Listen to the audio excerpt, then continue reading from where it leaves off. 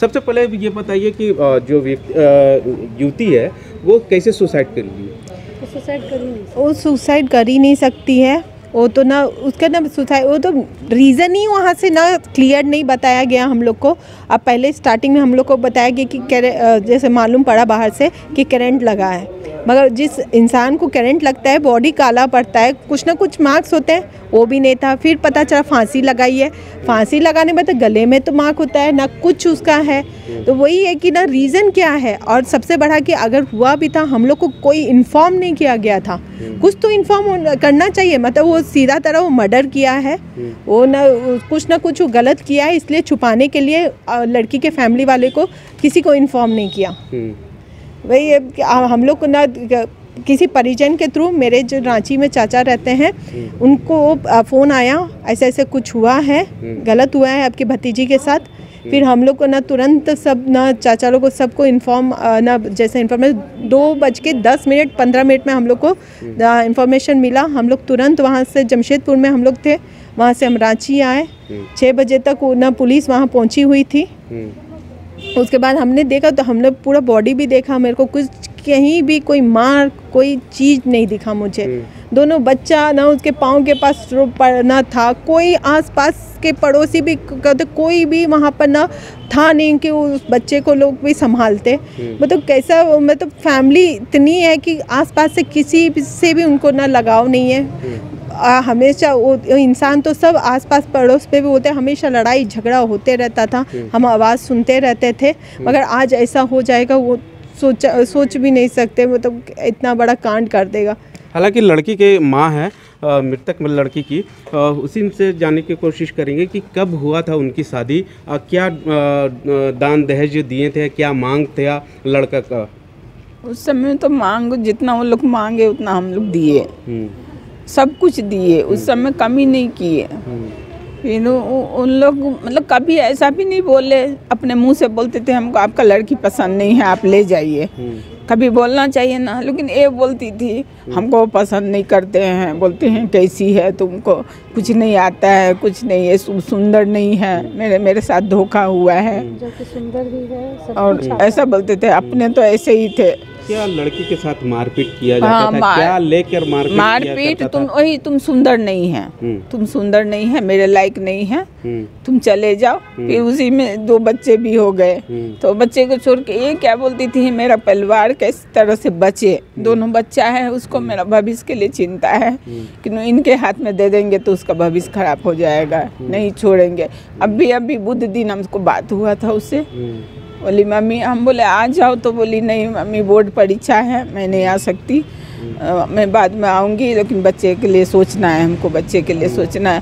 तो कुछ गलत मत करना तो हमेशा हम बोलते थे उससे कभी गलत मत करना। तो बोली मम्मी वैसा हम नहीं करेंगे। ये इंसान अच्छा नहीं है हम अगर कुछ करें तो जीने नहीं देगा। हम्म, इसलिए मैं ऐसा कुछ नहीं करूँगी।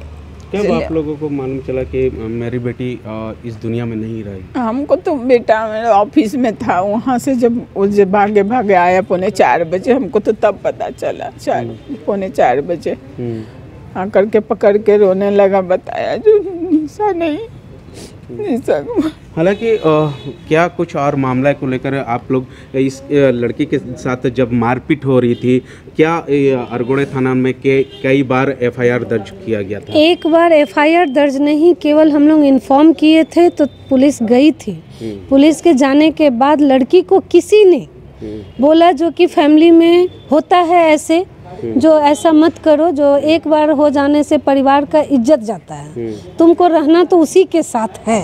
इसके कारण वो अपना कदम पीछे ले ली, पुलिस को बोली जो कि ये मेरा घर का मामला है। ये बात करने पर पुलिस वापस चली गई। फिर जब हम लोगों ने समझाया तो उन्होंने यही कहा जो कि, चाची, रहने दीजिए ना।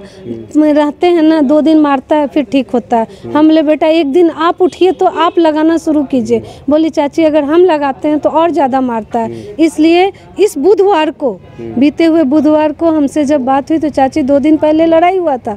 लेकिन फिर वो बोला जो कि हम बोले तो क्यों लड़ाई हुआ? लड़ाई होने का रीज़न क्या है? तो छोटी छोटी बातें पर बेडशीट है वाइट कलर का प्योर हॉस्पिटल वाला बेडशीट बिछाते हैं। वो थोड़ा गंदा लग रहा था तो बोले तुम धोई नहीं है? तो हम बोले हम बोले आप क्या बोले? तो चाची हम धोए थे बोले धोए हैं। बस इसी बात पर वो फिर मारना शुरू किया जो कि क्यों? तुम मुझसे बहस लड़ाती है? तो हम बोले बेटा आपको वो बोलता है घर से निकल जाओ। तो हम बोले आप निकल के आ जाइए यहाँ। तब वो बोलती है जो क्यों हम नहीं निकलेंगे? तो नहीं ये तेरा बाप बनाया है ये मेरा बाप का है। तब ये मेरी बेटी बोली जो आपका बाप हमको लाया है। लेकिन वो हम बोले जो तुम आप आ जाइए टाटा आ जाइए। तो वो बोलती है नहीं चाची मेरी बे, बेटा का एट का बोर्ड है इसलिए हम अभी नहीं आ सकते हैं। अगर वो जिस इंसान में ये थिंकिंग है जो कि मेरा बच्चा बच्चा का बोर्ड एग्ज़ाम है हम चाची के घर नहीं जा सकते हैं यहाँ से टाटा नहीं जा सकते हैं दो दिन के लिए नहीं जा सकते हैं तो वो इंसान सुसाइड करेगा? और दूसरी बात जब हम उसको बोले जब बेटा आप आ जाइए तो बच, आप आ जाइए छोड़ दीजिए उन लोगों को। तो नहीं चाची यदि हम आएँगे तो मेरा दोनों बच्चा को वो खा जाएगा। ये उसका स्टेटमेंट हमें पूरा दिखता है जो कि वो लड़की सुसाइड नहीं कर सकती है उसका मर्डर हुआ है और वो जान बुझ कर हत्या हुआ है। अब उसके साथ बहुत ही मारपीट हुआ है। लड़के की तरफ़ से कभी भी डिमांड पैसा का डिमांड या वो डिमांड कुछ नहीं आया था। डिमांड कुछ नहीं हम झूठ नहीं बोलते हैं। डिमांड कुछ नहीं आया। बस उसका एक ही चीज़ रहता था मायके से तुमको आया है कोई? अगर कोई आता था गाली गलौज करता था। बस एक हाँ। एक ही चीज़ था जो कि वो लड़की के फैमिली को वो गाली देता था, जो कि हमारी बेटी को पसंद नहीं था, इसलिए वो नहीं चाहती थी जो मेरा फैमिली मेंबर यहाँ आए। और वो हम जब बोले, जो बेटा आप जाइए, एक बार अरगोड़ा थाना में आप इन्फॉर्म तो कीजिए तो वो डायरेक्ट एक ही बात बोलती थी, जो चाची, अगर हम इन्फॉर्म करेंगे कुछ होगा उस, वो जब फिर छूट के आएगा तो कहीं मेरे चाचा को ना वो कुछ गलत करे। हम इस डर से हम नहीं कदम उठाते हैं। हम हम हम झेल रहे हैं ना, चाचा मेरा सुरक्षित है, हम सुरक्षित हैं। ये हमको ये बुधवार को ये लैंग ये वाक्य बोली है। अब इसके आगे तो अब पुलिस हाथ में ले लिए हैं। वो अरेस्ट भी हो गया है लेकिन हम तो यही चाहते हैं जो अच्छा से उसका धुलाई हो पहले उसके मुँह से सारा बात निकले खुद धुलाई हो। और जो अड़ोसी पड़ोसी है उनसे भी बातचीत हो। क्योंकि जब हम वहाँ गए हैं तब सभी ने मुझे यह कहा है जो ये लड़का बहुत ही गाली दे दे कर ऐसे ऐसे शब्द बोल रहे थे जो एक हम शिक्षिका हैं हम जमशेदपुर में एक प्राइवेट स्कूल की शिक्षिका हैं। हम नहीं वैसा वर्ड मुँह से निकाल सकते हैं। और वो लोगों ने बोला, तब हम ये भी बात कहे, जो कि आप पुलिस जब आएगी, तब आप ये बोल सकते हैं? तब बोले, देखिए, हम लोग पुलिस मामले में जाना नहीं चाहते। हम लोग इतना तो बोल सकते हैं, जो हाँ ये आदमी सही नहीं था। बोले, वो देखा जाएगा। हालाँकि इसका लड़के का जो मृतक लड़की का है चचेरा उसका भाई। चचेरा भाई है। क्या कुछ आप लोगों को मालूम चला? क्या वजह रहा है कि लड़की सुसाइड कर ली या उसको मार दिया गया? देखिए सबसे पहले तो कि ये घटना का इन्फॉर्मेशन अराउंड दो दो अढ़ाई बजे मिला मेरे फादर को। तो डायरेक्ट लड़के से नहीं मिला। डायरेक्ट लड़के से नहीं मिला इन्फॉर्मेशन किसी थर्ड पर्सन से। हम्म, ये पता चला। हम्म, कि ऐसा ऐसा वो लड़का हॉस्पिटल में हम्म, अपने कार में मोस्ट प्रोबेबली हम्म, बॉडी को लेके घूम रहा था ठीक है? ठीक है बॉडी को लेकर के अपने कार में घूम रहा था और उसने कोशिश किया कि अ, इसको हम बिना किसी को बताए निकल जाएँ यहाँ से।